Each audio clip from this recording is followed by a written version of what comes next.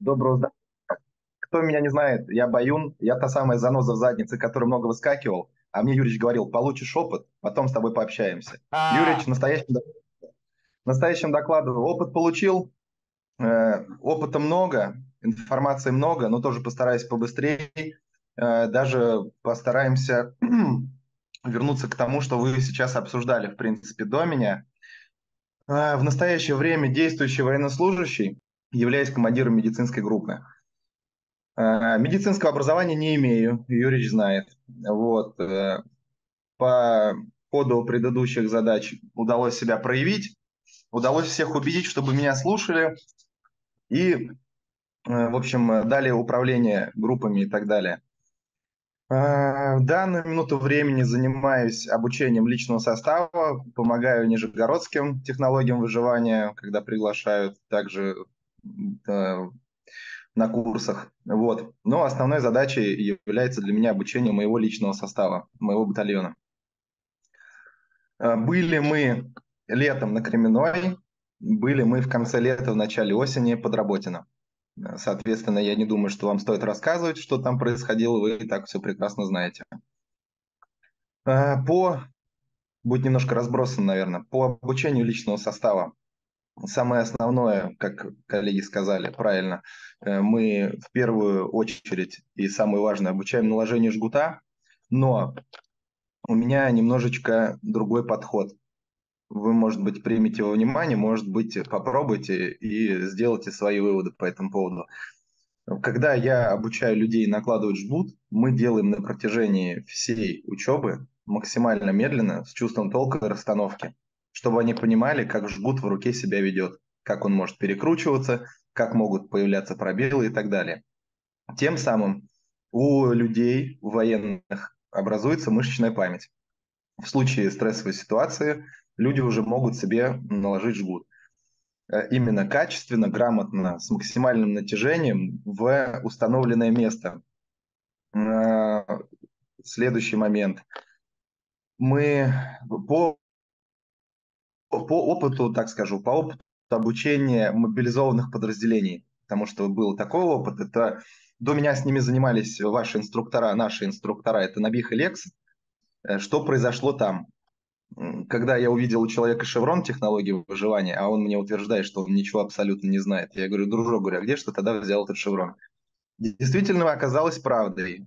Курсы были замечательные, инструктора Набих Лекса замечательные, но ничего в голове не откладывается. Поэтому посоветовавшись со своими коллегами, приняли решение сократить курс до ЖП. Даем только ЖП. Все остальные медицинские моменты только санитарам групп, только медицинским взводам. Для рядового бойца, даже для командира отделения, я бы сказал, пол все, больше ничего не нужно. Перевязка, думаю, тоже не нужно объяснять, почему, потому что жгут в большинстве случаев ранений не нужен, и от него нужно уходить. По обезболу понятно, чтобы при тяжелой контузии, при ранении в голову проникающего осколка, чтобы никто не впорол пармидол. Ну и по эвакуации понятно. Эвакуация – это основная вообще часть, почему раненый у нас выживает. То есть не всегда все зависит от оказания помощи, как зависит от э, скорейшего, от скорейшей доставки раненого до госпиталя. Э, Поехали. Так, про жгут сказал, что мы проанализировали вот этот момент с его наложением. Если будет как-то прерывисто, сразу прошу прощения, потому что не подготовился, не было абсолютно времени. Э, Одним из самых основных моментов по раненому, вы это уже проговаривали, но немножечко внесу ясности. Передача информации по раненому. Передача информации по раненому, э, начиная от места его нахождения, место нахождения, каким образом происходит у нас. У нас Alpine вы тоже знаете всю эту программу, на Alpine у нас много-много-много точек. И, соответственно, по точкам у нас передается информация. По тому, сколько нужно человек. Э, Юричу отписал по этому поводу, сколько нужно человек на эвакуацию. Была у нас, значит, э, задача на работе на июнь месяц. Тогда для нашего командования стало открытием, что бывают раненые и погибшие. Просто как бы немножко не знали до этого, что во время штурма будут появляться раненые и убитые. Соответственно, не было выделено группа эвакуации. В тот момент э, количество группы я не помню, заходил, но помню, что финально у нас было в районе 70 раненых.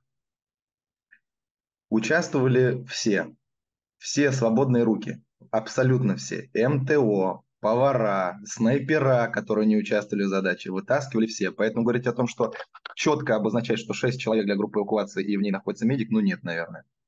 Все свободные руки. Истошный крик в рацию, мы не, нас не справляемся, у нас еще раненые, давайте нам все свободные руки. Ну, слава богу, как бы удалось, удалось справиться в тот момент. Потом, по порядку, по моему здесь. Оружие в группе. Э, можете меня осуждать, можете меня кидать камнями, я оружие не ношу. Моя группа эвакуации оружие не носит. Это тяжело. Э, раненый, когда по нему прилетает ствол от не сильно обученного да, там, человека, который находится в эвакуации, и он ему тут стволом, значит, э, по раненому бьет, это тоже не сильно приятно. Поэтому мы пришли к тому, что у нас группа эвакуации двигается без оружия. А, вышесказано, один-два человека на эвакуацию, если есть такая возможность. Я так полагаю, что эти один-два человека могут принести огромную-огромную пользу. Но если их кинуть на одного, на двух раненых, которых они вытянут вдвоем, у них попросту закончатся силы. У них закончатся силы, дальше они не смогут э, принимать участие в эвакуации. Скорее всего, это будет обезвоживание и так далее и тому подобное. Потому что, тем не менее, даже если они, будут, даже если они будут без оружия, они будут в броне, в касках и так далее. Климат, вы сами знаете, что там за климат. Так, так, так. По тому, когда раненый или не раненый, или очень умный боец кричит там, а, не попали, там, стреляйте туда, это то, что Юрич говорил, или наоборот, там, а, попали, и арт-корректировщики там такие, так, вот, а, они нам дают информацию, мы давайте по ней будем отрабатывать. Сейчас 99,9% артиллерии наводится по дронам в основном это крыло, которого даже не видно. И если мы хоть даже истошно будем кричать о том, что вы по нам попадаете, хотя они нифига не попадают, они прекрасно видят, куда они бьют. Потому что работает крыло. И более того, поделюсь интересным опытом, э, против нас работала такая крутая организация наших противников, как К2, может быть, слышали, это передавая их по беспилотникам они делали следующее. Значит, в небе висело крыло. Знаете основную проблему в дрона, что у него теряется связь, он становится неуправляемым. Э, над нами, над нашим населенным пунктом висел крыло, у которого был подвешен ретранслятор, и в пивидроны залетали даже вот в такое окошко.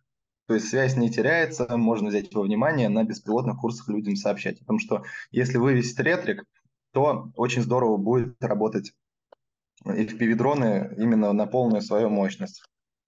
Поэтому сказал, э, по тому, по тому нужен, нужен ли, нужно ли выдвигаться медику. Да медик, наверное, у нас всегда выдвигался в любом составе группы. Здесь, наверное, лучше разделить на то, что состояние раненого. Э, бойцы его не всегда могут сказать о его состоянии. Поэтому здесь достаточно поделить на то, что может идти или не может идти если может идти, скорее всего, состояние легкое или среднее, ближе к среднему. Если этот человек не может идти, значит, он, скорее всего, либо сильно тяжелый, либо сильно средний. Так, э, ну, работа по ориентирам, это понятно. Также, что вот проговаривали, мы там были вчера тут, вчера мы, этот, вчера мы были там, давайте двигаться оттуда и так далее. Ну, не все в группе могут так быстро соображать, к сожалению. И поэтому, если мы будем, да вспоминай, Васька, но мы вчера там проходили, а помнишь, там еще классный хохляцкий лежал рюкзак, который мы хотели взять, но вот планировали на сегодня. Но не всегда Васька это вспомнит. А, потом, потом, потом, потом. Обязательно для себя мы приняли во внимание и всем советую.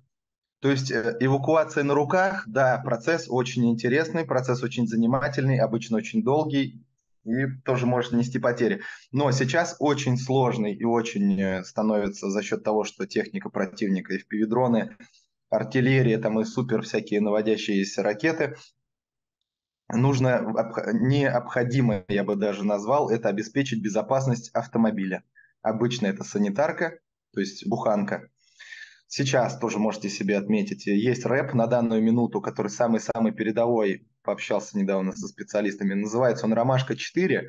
Представляет из себя антенна и Wi-Fi роутер, грубо говоря, как Wi-Fi роутер. Устанавливается на крышу автомобиля, подключается в прикуриватель, и в пивидроны не долетают, падают. Это вот по рассказам наших специалистов. Так, так, так, так, так. В принципе, потому что отметил у себя, доложился, добавить еще что можно и с большой гордостью, Юрич, те данные, которые, ту информацию, которую вы даете даже на базовом курсе, если голова на месте и руки растут не оттуда, откуда обычно они растут у всех, то, в принципе, можно справиться с любыми поставленными задачами в медицинских целях, не имея никакой подготовки. Вот я так от вас выпустился, поехал, ну и как-то получилось. Вот, потому что просто думал постоянно, думал, двигался, двигался, думал, все и получилось. Замечательно. Вот, сейчас большое спасибо, еще заметил, отметили важную фразу по медику, говоря опять же о том, вот сейчас, когда мне скидывал секретарь, я заметил там очень знакомая фраза. Хороший медик и связист, и эвакуатор, и поднесет патроны, и сухпайком, и надежную поддержку. Но это действительно так. Поэтому готовиться только к эвакуации раненых, я бы не сказал, что это прям, ну, это очень-очень важно, но это не сто процентов, что ты будешь заниматься только этим у ребят заканчивается еда, у ребят садятся рации, э, у ребят может заклинить ствол, и тебе нужно будет принести свой. То есть э, готовиться нужно не только к тому, что есть раненые. Еще помимо всего этого обозначать полный вообще цикл задач, что там происходит, э, и участвовать во всем процессе непосредственно. Я не говорю, что вместе с штурмовиками забегать на позиции там, и резать голову, но когда штурмовики устали, им нужно принести воды, ну почему бы нет?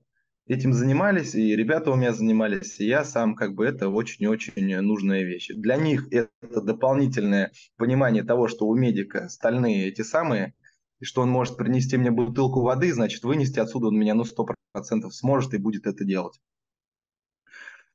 А, а,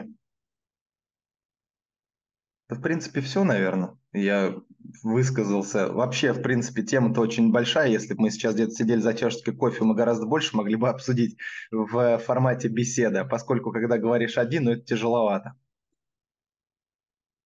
Я вас благодарю. Вас благодарим, дорогой друг мой. Классный был доклад, а для меня огромная радость, что человек после наших курсов не на диван поехал, а на фронт и применил знания. Вот теперь вы имеете полное право говорить, мы делали так, оно работало, когда вы лично это делали.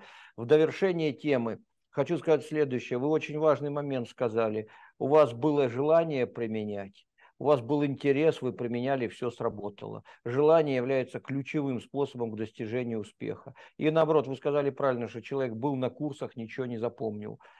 Я думаю, что если он был на нашем базовом курсе московском, то хоть что-то он должен был запомнить. Скорее всего, это была несчастная ситуация, мое предположение, когда приезжают обучать военных, вот вам 200 человек, вот вам 2 часа занятий и 2 жгута и одна шина. И шину вернуть нельзя расходовать.